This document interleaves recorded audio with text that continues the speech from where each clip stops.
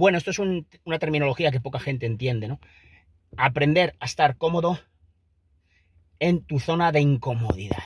Es decir, la zona de confort es la zona en la cual estamos cómodos en nuestra vida, con nuestro trabajo estable, aunque sea mal pagado y no llegamos a final de mes, con nuestras relaciones, con nuestras cosas personales estables, aunque no seamos felices, ¿no? Se suele aplicar mucho más la zona de confort a la zona de la economía, ¿vale? Pero la zona de confort literalmente es eso, que no salimos de nuestra zona y no avanzamos nunca porque tenemos miedo, ¿vale? Pues ahí los economistas llaman esto zona de confort. Y hay que aprender a salir de la zona de confort, emprender un negocio, emprender algo que te haga ilusión y que te genere mucho más dinero que trabajar para otro.